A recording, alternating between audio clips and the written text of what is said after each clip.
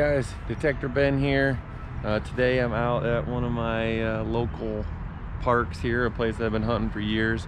Uh, I wanted to do something a little different today. I want to go over my top five uh, spots to find silver coins in parks.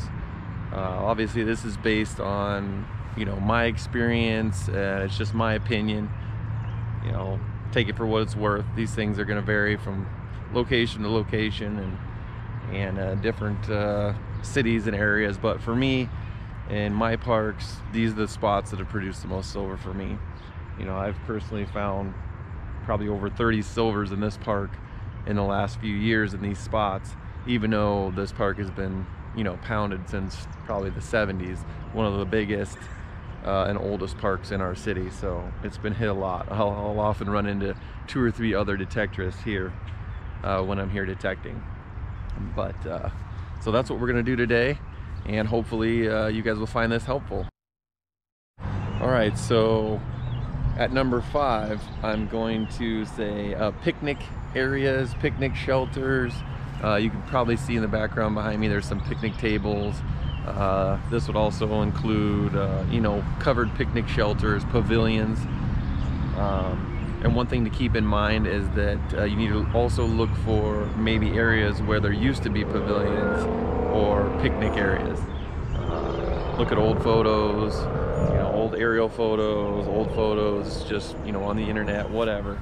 Find areas where uh, picnic areas where tables were um, or where there used to be a pavilion or a shelter.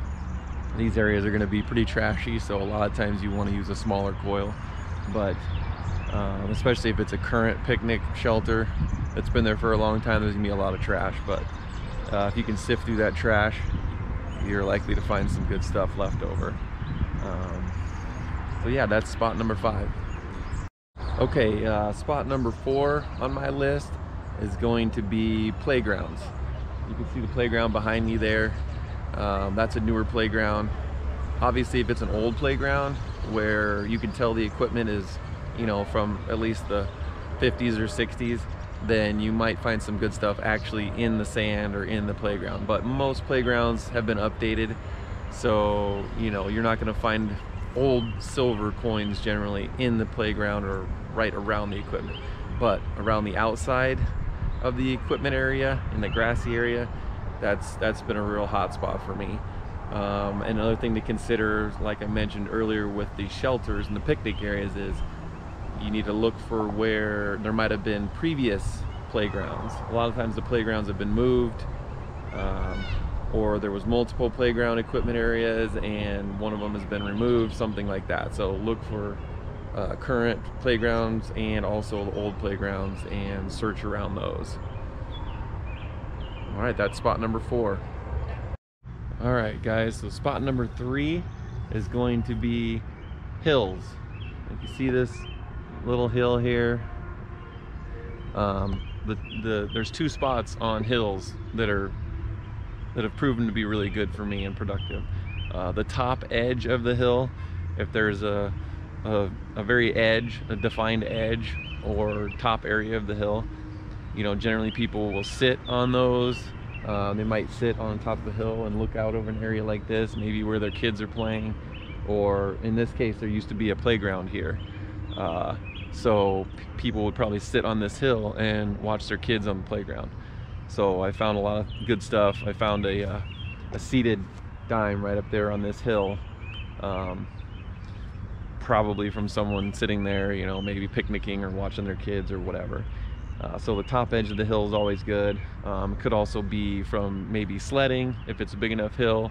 You know, people load on and off the sleds there. They might stuff might fall out of their pockets um, and then also the bottom edge of the hill like if you look here you kind of see like a spot where it hits the ground uh, kind of a you know little curved area there at the bottom.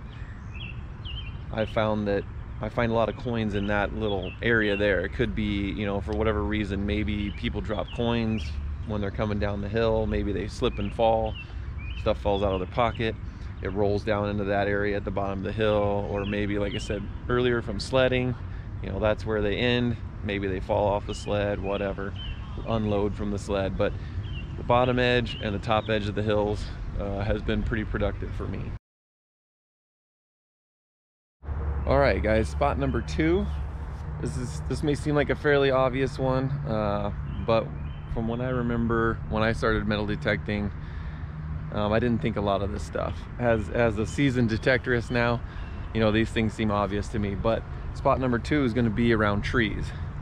Um, obviously, you've got current trees, especially uh, you know the bigger the better. That means they're generally means they're old.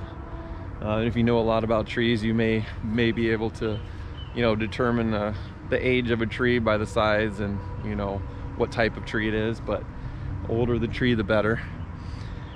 People like to obviously sit up against trees. Uh, they might have, you know, sat up there to just find a shady spot on a hot day. Stuff falls out of their pocket. Maybe they had a picnic, uh, you know, under the shade of the tree. So it doesn't have to be right next to the tree, although I do find a lot of coins right near the roots at the edge of the tree, at the base of the tree. But, uh, you know, also just in the shady areas around the tree. Another thing to keep in mind is if you see this brown spot right here, there's kind of an, indent there. That's a spot where a tree used to be. So those can be really good spots because A, they might have dug the tree stump out and turned up some coins that were under there. And B, it may not have been hunted as hard because other detectorists might have missed it, not realizing there was a tree there. Um, so those are really good spots in and around those indents. You could also find uh, where trees were, you know, from old photos, uh, aerial photos, or just old photos of the park. You might notice a big tree that's in a picture that's not there now, and if you can find that location, you know, it, it should produce something for you.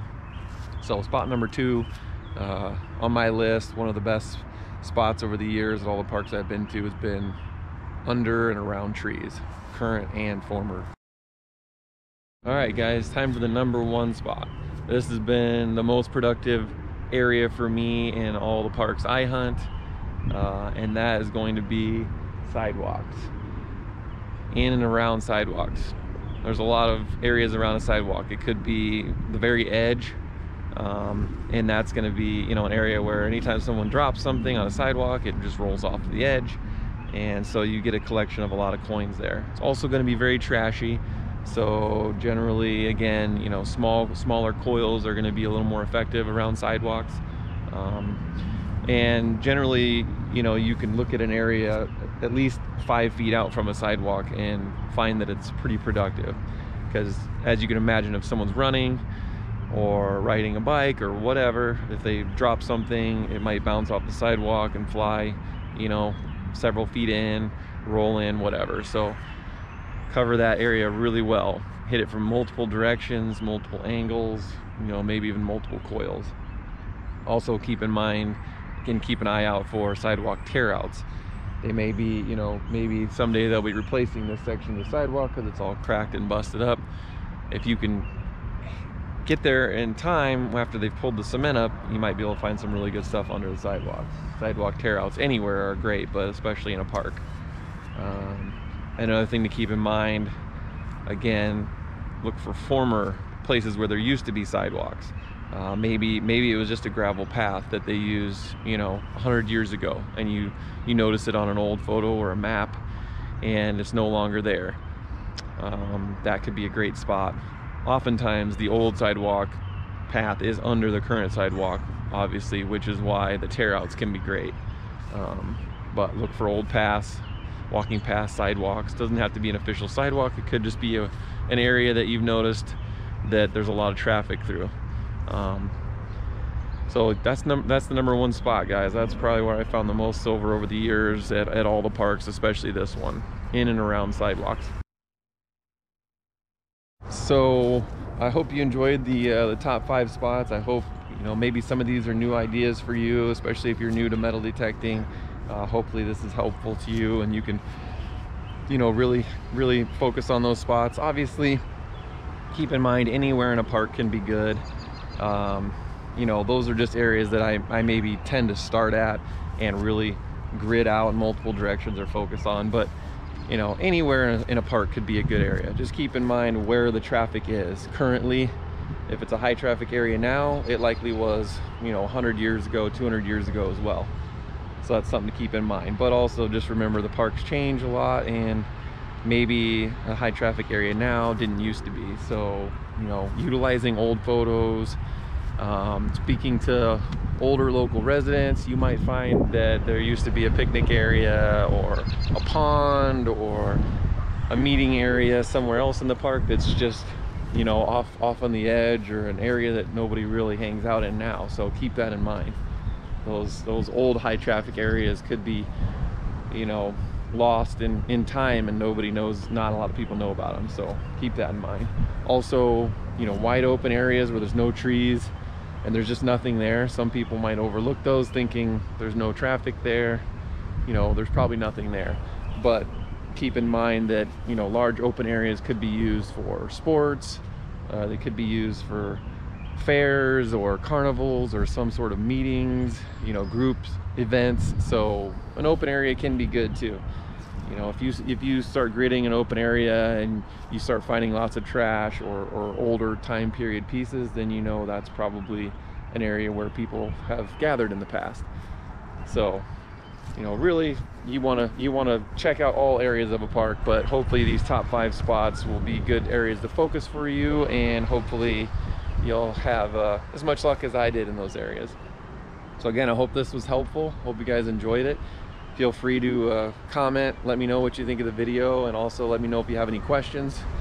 Uh, I'd love to answer any questions the best I can.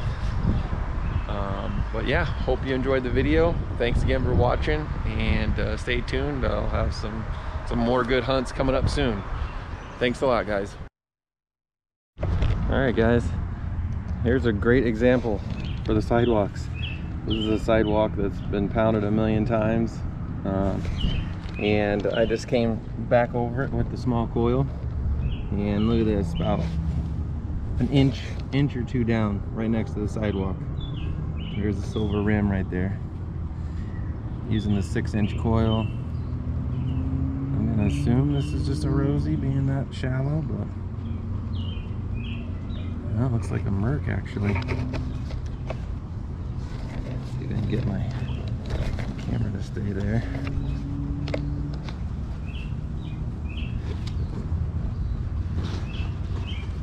Water on it.